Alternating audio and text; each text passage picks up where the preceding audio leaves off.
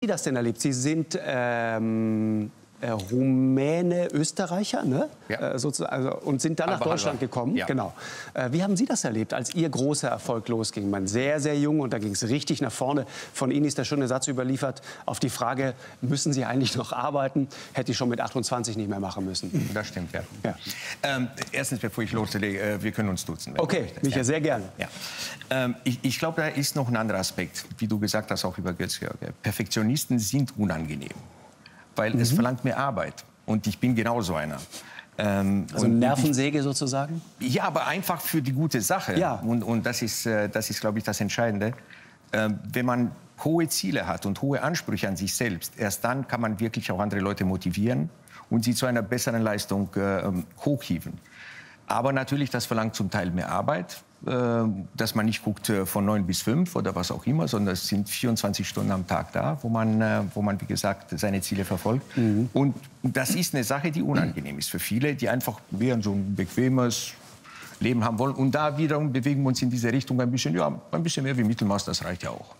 Aber es gibt Leute, die geben sich damit zufrieden und andere nicht. Und äh, ich glaube, das ist auch mit ein wichtiger Faktor. Hannes. Ich glaube, was Christian gerade gesagt hat, ich habe ein ganzes Kapitel mal recherchiert über deutsche Neid- und Missgunstkultur und die ist weltweit schon ziemlich einmalig.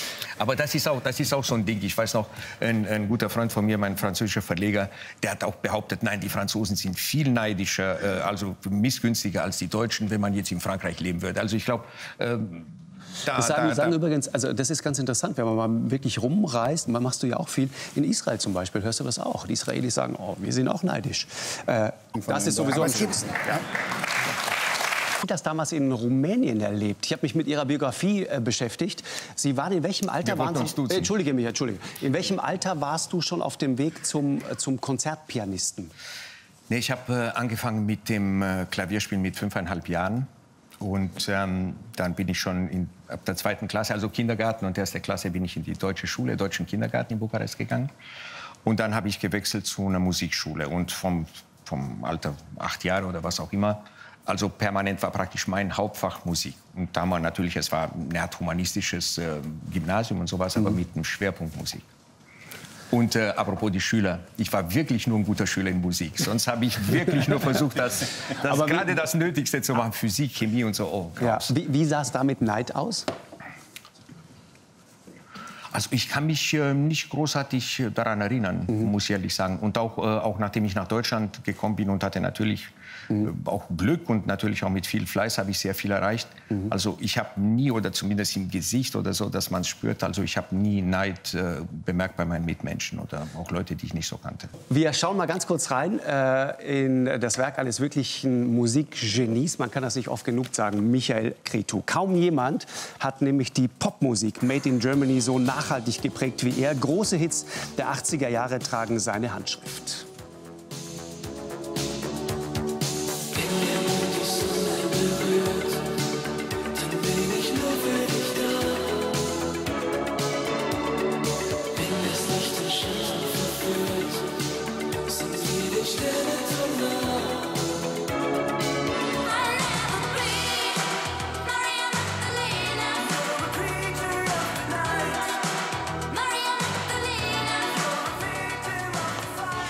Maria Magdalena, gesungen von Michael Cretus damaliger Freundin Sandra, wird in 21 Ländern Nummer 1, verkauft sich mehr als 5 Millionen Mal.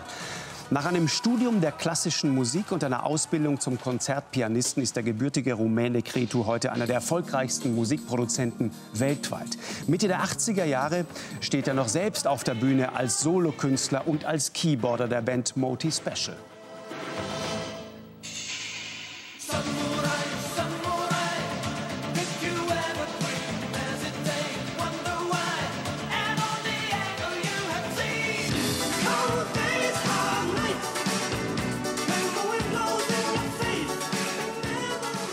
1990 dann startet Cretu sein Weltmusikprojekt Enigma, das Musik verschiedenster Kulturen, Epochen und Stilrichtungen vereint.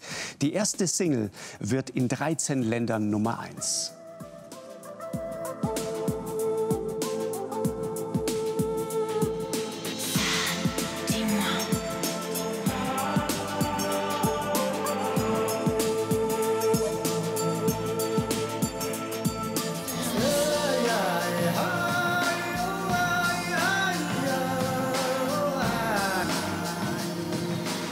Ende letzten Jahres kommt das vorerst achte und letzte Enigma-Album heraus. Übermorgen feiert Michael Cretu seinen 60. Geburtstag.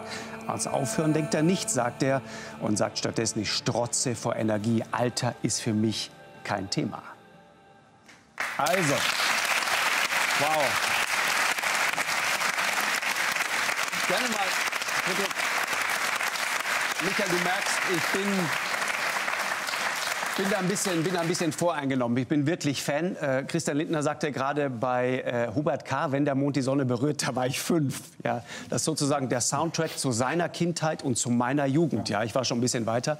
Äh, wenn du, wenn du äh, ein Lied hörst, weißt du sofort, das wird ein Hit? Sagen wir es mal so, ich ähm, puzzle und, äh, und, und arbeite so lange daran, bis irgendwie ja, so der Moment entsteht, so, da kriegt man irgendwie Gänsehaut. Und dann weiß ich, okay, that's it. Und bis jetzt hat mich dieses Gefühl noch nie getäuscht. Stimmt die Geschichte mit deinem Sohn, der dir irgendwann mal äh, was vorspielte und fragte, Papa, wie findest du das? Und deine Antwort soll gewesen sein, das wird ein Hit. Was war das? Ähm, ach ja, stimmt, stimmt. Das, da, da war er, ich weiß nicht, unter zehn, glaube ich, nee, zwölf Jahre oder sowas. Und äh, ich hatte bis dahin äh, Umbrella von Rihanna nie gehört. Und der hat mir das vorgespielt und ich glaube, ich habe gleich danach 40 Mal hintereinander den Titel angehört. 40 also ich war Mal? total begeistert, ja. Nee, nee, das, äh, es gibt so Sachen, die, die, oder zum Beispiel monatelang, bevor jetzt Human äh, Rag Bone Man Hit wurde, ich habe es irgendwie aus dummem Zufall irgendwo im, beim Autofahren gehört, gesagt, das muss was werden. Das, das fällt so auf. Und da kommen wir wiederum äh, zu, also ich, zu, zu, der Sache, ich bin ein großer Befürworter von äh, Individualität. Und man soll sich unterscheiden eben aus diesem Trott, diese, diese gesichtslose Masse der Mediokrität. Mhm. Und äh, ich freue mich über jeden, der irgendwie anders ist und der zum mhm. Erfolg mhm. kommt. Das finde ich eine mhm. großartige Sache. Und das bringt uns alle, glaube ich, äh, weiter voran. Mhm. Wie bist du, Michael, damals... Ich würde gerne einmal ganz kurz in deine Biografie reingehen. Wie bist du damals, wie bist du damals nach Deutschland gekommen? Äh, deine Eltern sind vor dir aus Bukarest weg. Das heißt, du warst Mutterseelen allein in Bukarest? Ja, also meine Mutter ist hundertprozentige Österreicherin, aber in Bukarest geboren. Und mein Vater war waschechter Rumäne. Und die sind dann 74, äh, ich will es jetzt nicht groß, weil die Story ist ein bisschen länger. Also irgendwie hatten sie das Glück, irgendwie beide kriegten Pässe zum Ausreisen. Und äh, wie man so weiß, äh, die durften ausreisen, weil sie lassen das Kind da und so weiter und so fort. Das war sozusagen das, das, das Faustpfand, das man das, in der Hand ja, hatte. Ja, ja, ja. Mhm. Und ähm, ich wusste, deren großer Traum ist, äh, in die Freiheit zu gehen. Und ich habe sie unterstützt und befürwortet. Ich war, glaube ich, 16,5 Jahre oder so. Habe gesagt, macht euch keine Sorgen, ich komme schon irgendwie nach. Äh, kommt nicht wieder zurück, weil so eine Chance kriegt ihr nie wieder. Sie wissen wahrscheinlich von Politik her und so, wie schwierig diese ganzen Situationen mhm. sind. Naja, und so war das auch. Und dann äh, durch diese, ich glaube, der Begriff hier Familienzusammenführung oder sowas, kam ich dann ein Jahr als äh, Staatenloser nach Deutschland. Das heißt, du hast ein Jahr dort alleine ja. äh, gelebt praktisch? Ich meine, als 16-Jähriger ist man ja selbstständig. Ja, mit meiner Großmutter. Genau. Und die kam dann ein Jahr nach mir auch nach Deutschland. Okay, das ist sozusagen der, der logistische Teil ja, der Veranstaltung. Ja. Da hast du jemanden, der für dich kocht und ein bisschen aufpasst und so weiter. Ja, das nee, ich musste mehr auf sie aufpassen, okay. weil, sie immer so, weil sie immer so in Sorge, dass dem Bub nichts passiert oder so. Ja, okay. Aber äh, wie oft wacht man da morgens mit, mit pochendem Herzen auf und fragt sich, klappt die Nummer, die ich mir da überlegt habe? Werde ich meine Eltern jemals wiedersehen? Ja, schon sehr oft, weil es gab äh, auch einen Zeitfaktor. Also ich durfte nicht 18 Jahre alt werden, sonst mein Ausreiseantrag als Minderjährige wäre verfallen. Und dann, bis der neue genehmigt wird und was auch immer, dann muss ich zur Bundeswehr, dann darf ich das Land sieben Jahre lang wegen Militärgeheimnisse, ich habe immer gesagt, damit keiner weiß, dass sie nur mit Flinten schießen oder sowas, äh, darf man das Land nicht verlassen. Okay, sieben und, Jahre, ja? Ja, ja, das war damals so eine Sperrfrist. Und, äh, das heißt, Donald Trump darf jetzt, weil er Geheimnisse verraten hat, sieben Jahre nicht aus dem Weißen Haus raus. Das wäre quasi die Analogie. Ja, das wäre nicht schlecht, das wäre nicht schlecht, aber, aber aus dem Keller. unter Hausarrest. Keller, unter Hausarrest ja. ne? so. Und ähm, nein, und wie gesagt, das, das war schon ein bisschen Bammel. Ne? Mhm. Aber, aber, Gott sei Dank ist alles gut gegangen. Dann hat es funktioniert. Dann hat es funktioniert, äh, Und wenn man sich mal, äh, weiß nicht, ob die Geschichte stimmt, aber um sie mal klar zu machen, auch welches äh, Leistungsprinzip da im, im Hause Kretu da so herrschte, stimmt es, dass du nach Frankfurt gekommen bist und deine Mutter sagte, morgen hast du ähm, deine Aufnahmeprüfung an der Musikhochschule? Das ist wirklich wahr. Ich war noch total, natürlich noch total verschlafen. Abschiedsfeier mit all meinen Freunden und so weiter, die Nacht durchgemacht. Ich komme da hin und denke, oh, jetzt kann ich mal ein bisschen ausschlafen und so mich mal umschauen, wo bin ich denn überhaupt im neuen Land, neue Welt. Und meine Mutter sagte gleich, nee, sonst verlierst du ein Semester. Also ich habe dich schon angemeldet, nächsten Morgen Aufnahmeprüfung. Hinzu muss ich sagen, ich hatte schon zwei Jahre davor die Aufnahmeprüfung in München gemacht, als ich meinen Großvater äh, besuchte, der in der Nähe von Traunstein lebte. Und da habe ich die Aufnahmeprüfung bestanden. Und ähm, die war nach wie vor gültig, zwei Jahre später. Und das mhm. war mir nur so eine Sache, wo die Leute einfach nur sehen wollten, wie gut ich Deutsch rede. Mhm. Oder ich weiß es nicht mehr. Die waren sehr, sehr nett und nach einer halben Stunde ist alles klar, gut, du kannst übermorgen beginnen. Und äh, weil wir gerade über Mittelmaß gesprochen haben, äh, stimmt es, dass du dich sehr schnell gelangweilt hast, weil du da eigentlich nichts mehr lernen konntest? Ja, wie, wie, man so weiß, früher im Ostblock, also es gab zwei Sektionen, auf die der Ostblock sehr stolz war und die auch sehr promotet hat. Das waren Sportler und Künstler. Und natürlich meine musikalische Ausbildung, die war aus, außergewöhnlich gut gewesen. Und das kennt man auch von russischen äh, ja. Musikern und so. Und äh, viele Sachen, die, äh, die hier an der, an der äh, Hochschule für Musik in Frankfurt kamen, die hatte ich wirklich schon Jahre davor in Rumänien gelernt. Und äh, dadurch war es ein bisschen langweilig. Aber es gab auch viele Sachen, die ich nicht kannte, wie Zwölftonmusik und so. Da, haben die, da waren die Rumänen schon sehr schüchtern, was das betrifft. Wahnsinn.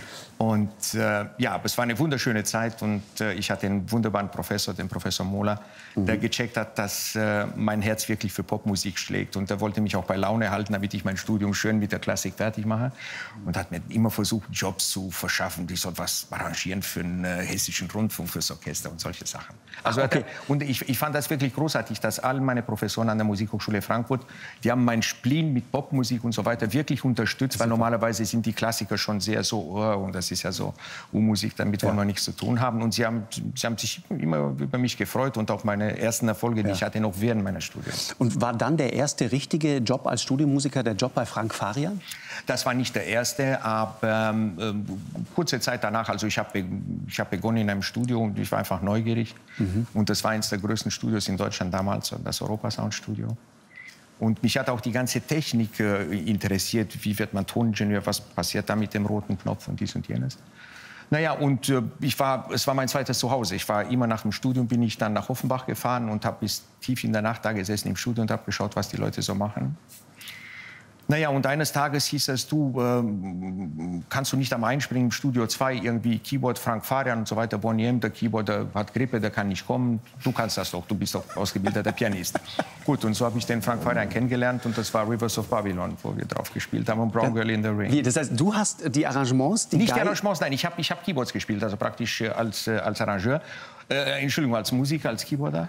Und dann irgendwie, ich weiß nicht, mit dem Frank Farian, da waren wir uns gleich irgendwie sympathisch. Super. Und da sagt er, ach, weißt was, die B-Seite, die Brown Girl with the Ring, die, die, haben mir gesagt, du hast Klassik studiert, also mit Geigen und so kennst du dich aus. Sag ich, ja, ja, schon klar mit Streicher. Sagt er, kannst nicht mal schnell was arrangieren, ich muss übermorgen nach München Streich aufnehmen für Brown, äh, Brown Girl in the Ring. Ja. Und dann habe ich mich hingesetzt, habe ein Streicharrangement gemacht. Natürlich wollte mein Bestes tun, habe es natürlich zugekleistert mit, mit, äh, mit Streichern, das ganze Arrangement. Und da kam der Frankie natürlich bippern, weil es war der erste richtig seriöse Auftrag. Kam zurück und äh, schaut mir das an und sagte, du hast mir aber eine ungarische Symphonie da geschrieben. Ne? Aber sagte, aber macht hier nichts draus, ich habe 90 Prozent weggelassen und es klingt super. das ist eine schöne Geschichte. Das ist ja super. Brown Girl in the Wind und Rivers of Babylon. Ja. Das waren nur die Keyboards, ja, schon klar. Fender Rhodes. Ja. Das heißt, wenn wir die Keyboards, die Streicher bei, bei Rivers of Babylon in Nee, die Streicher bei Brown Girl in the Ring. Okay, und bei, bei Rivers die, of Babylon Keyboard, die Keyboards. Klavier. Und, und, danach, wie gesagt, habe ich für ihn sehr viel, auch Mary's Boychild und die ganzen Sachen. Ab da wurde ich sein Standard sozusagen Keyboard, also der meist bevorzugte. Wahnsinn. Und wann, wann ging es dann los mit dem ersten eigenen Ding? Ja, schon während dieser Zeit, also eigentlich, ich, ich kam in diesem Studio, weil ich mir von meinen äh, ähm, Eltern Geld geliehen hatte und wollte meine erste Platte produzieren. Und äh, so kam ich überhaupt zu diesem Studio. Und dadurch, weil ich da ein bisschen mal die, den, den Studiobesitzer sehr sympathisch fand und der mich auch und so begann praktisch meine Studiomusikerkarriere.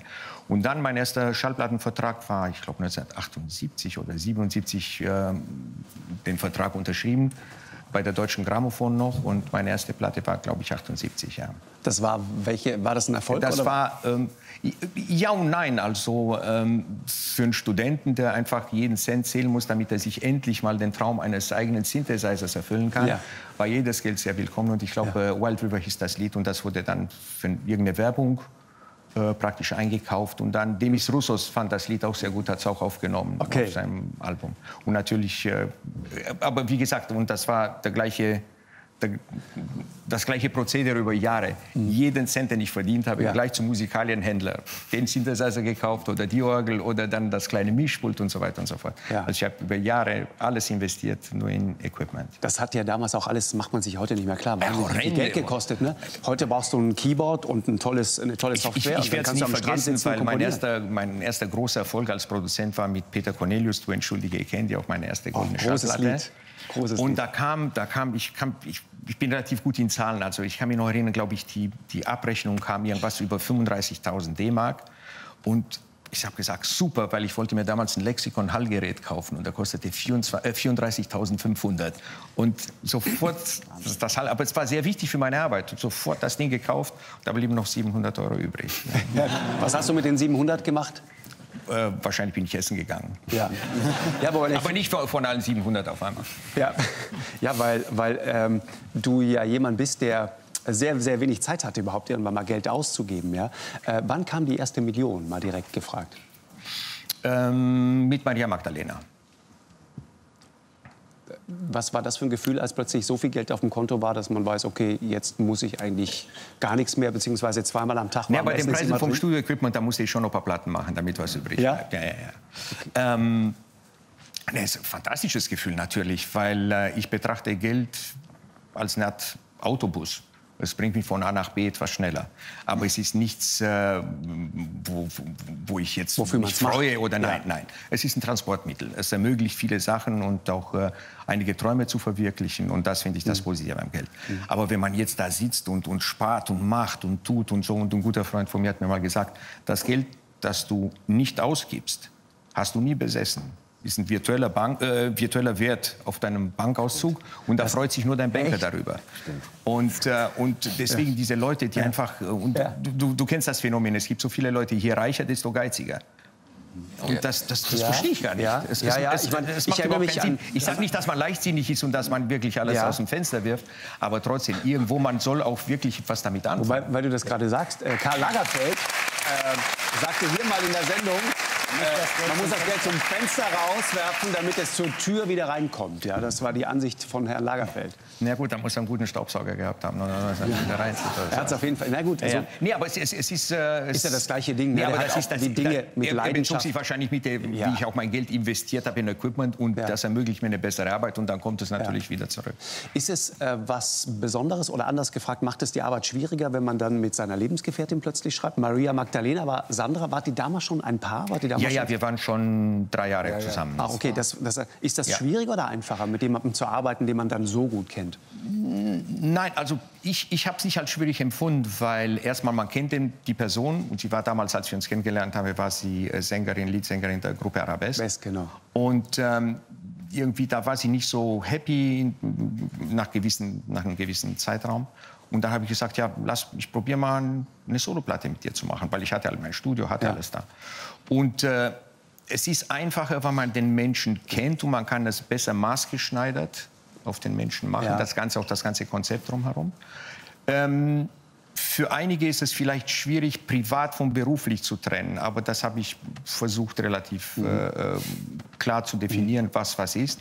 Und das hat, wie gesagt, äh, lange Hat in Zeit Ansätzen funktioniert, würde ich mal sagen. Wie wart ja. ihr dann irgendwann zusammen, ne? Ja, ja, ja, ja, genau. ja. und waren 26 Jahre zusammen. Also. Genau, habt zwei Kinder, ne? Glaub ich. Ja, ja gemeinsame zwei Kinder. Sandra war auch mal hier, äh, tolles Gespräch auch damals mit ihr. Ähm, und dann kam dieses Riesending äh, Enigma, das sogar in den USA, und das schaffen wirklich nur wenige, ich glaube 200 Wochen in den Billboard-Charts war. Äh, fast 300 war es. Fast 300 ja, Wochen. Die haben mir damals gesagt, also nach Dark Side of the Moon von Pink Floyd ja. ist es die LP mit der längsten Überlebensdauer in der Top 100 Irre. in Amerika. Das heißt, auf der anderen Seite riesiger Erfolg, auf der einen. Und auf der anderen Seite auf der anderen Seite ein Riesenärger mit der katholischen Kirche, ja? Nein, das war nur ganz am Anfang. Ja. Wie, wie, wir vorhin geredet haben, man kann es nie allen, allen recht machen. Und da findet immer irgendeiner okay, irgendwas also zum Mosern. Der hat ihn doch imitiert am Ende. Der hat doch am Ende selber singen müssen, damit sie auch ein paar Platten verkaufen. es gibt eine Platte mit Beutila, der das nachahmt so ein bisschen mit Ja, und hat das ja- sind, glaube ich, seine, Predigten oder was Nein, nein, der singt ein bisschen Ja? so Ah, okay. Liturgie. Es hat ja auch- ich musste mal drüber schreiben. Ne? Hat ja auch dazu geführt, dass gregorianische Gesänge plötzlich, also auch... äh, Die waren ausverkauft. Genau. Nachdem diese Platte und, und ich weiß Das es, war plötzlich wahnsinnig hip Ja, und viele die Menschen gingen in Kirchen und hörten plötzlich alte Ja, ja. Choräle, für die sich vorher kein Mensch interessiert Nee, ich hatte. weiß, wir, wir haben damals äh, große Schallplattenhändler gesagt, sagen sie, du, wir hatten diese Dinger, die hatten einen Zentimeter Staub irgendwo im Regal. Ja. Und nachdem deine Platte ein Hit ist, auf einmal sind sie alle weg. Und junge Leute kaufen das. Das heißt, ich, ich finde, ich habe nur was Gutes gemacht. Also durch diese ganz strange Mischung habe ich eine wunderschöne Musik jungem Publikum zugänglich gemacht. Absolut. Oder auch in, äh, wir waren in Los Angeles und hatten ein Interview und da kam irgendwie der, der, der Priester da und sagte, ah, ich habe gehört, Sie sind der und der, der dieses Lied so und so gemacht hat. Sag ich, ja, ja. Sagt er, danke, danke, danke. Sag ich, wieso? Sagt er, ja, seitdem die Nummer ein Hit ist, habe ich dreimal mehr junge Leute jeden, jeden Sonntag in der Kirche. Oh, super, super. Jetzt äh, gerade das achte Album, ne? November ist das rausgekommen. Ja. Was bedeutet dir das, Michael? Ich meine, äh, ich weiß, dass du jemand bist, der, der äh, im Grunde ganze Nächte und, und viele, viele Stunden durchgearbeitet hat. Gibt diese herrliche Geschichte, äh, habe ich irgendwo in der Biografie gefunden, dass du irgendwann sehr viel Geld verdient hattest und so wenig ausgegeben hattest, weil du nicht mal zum Sockenkaufen rauskamst, dass dein Steuerberater sagt, jetzt kauft dir mal ein ordentliches Auto, weil es glaubt uns das Finanzamt nicht, wenn das hier so weitergeht. Ja, das wirklich war. Und das war Ja. dieses, äh, dieses Jahr, wo, wo ich auf einmal Ja. drei Hits hatte, gleichzeitig. Oh, die Special Cold Days und eins haben wir gesehen, Maria Magdalena und noch mein unsäglicher Samurai.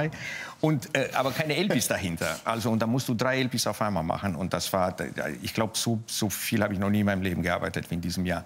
Äh, Ich parallel in zwei Studios hin und her. Und, und wie gesagt, ich kam zu nichts. Also gerade, dass ich noch ein bisschen was zu essen äh, mir kaufen konnte oder abends mal schnell essen gegangen bin. Und dann entsteht sowas wirklich, und, ich, war vollkommen vom Kopf gestoßen und habe gesagt, wo ist das ein Problem? Ja, es ist ein Problem, weil äh, die Verhältnismäßigkeit zwischen Einnahme und Ausgaben, die ist so dramatisch, der glaubt das kein Mensch. Sag ich, ja, aber du weißt es, weil ich habe mich geduzt mit meinem Steuerberater. Sagt, du weißt, ich sitze den ganzen Tag im Studio. Sagt er, ja, ich weiß es, aber die anderen nicht. Das, und du hast dir dann ein Auto gekauft, einen Ja. Mercedes 190? Ja, irgend sowas, den habe ich umbauen lassen. Das war so ein Bettmobil im Endeffekt. Aber von außen ganz, äh, nee, von, von außen hast du nichts erkannt. Also ich, Das heißt, was hat, dieses, Statement. was hat dieses Auto am Ende gekostet? Oh, ich weiß es nicht mehr. Viel, aber viel mehr als der normale Mercedes 190. Ja, Dann hattest du mal Geld ausgegeben kurz vor Weihnachten. ja, ja und der Steuerberater war zufrieden. Und Ja, ja. Das ist in Deutschland immer wichtig, dass der Steuerberater am Ende zufrieden ist. Und auch Herr Schäuble. Äh, Ich danke euch ganz herzlich. Das war eine tolle Runde, hat wirklich Spaß gemacht. Michael Kretu war heute unser Gast. Danke dir sehr. Wir bedanken uns sehr herzlich bei Hannes Jennecke, der war